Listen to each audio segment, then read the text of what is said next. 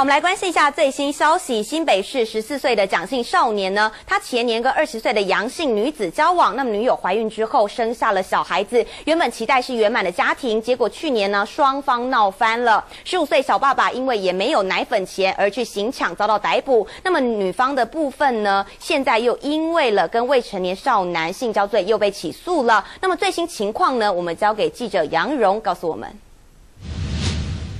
好，主播新北市一名十五岁的蒋姓少年，前年呢和二十岁的杨姓女子交往。那自幼家庭破碎的他呢，在女友怀孕的时候呢，坚持要生下小孩子，那希望呢能给孩子圆满的家庭。没想到呢，去年双方闹翻，十五岁小爸爸呢为了筹奶粉钱行抢而被逮捕，那女儿呢也被女方给带走。杨姓女子呢则因为和未成年少男发生关系被起诉。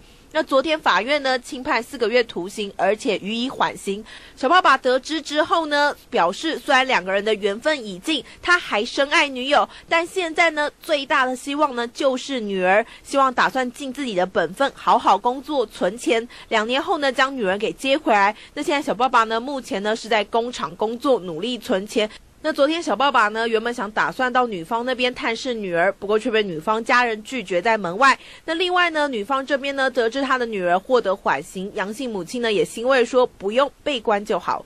以上是现场为你掌握最新情况，主播。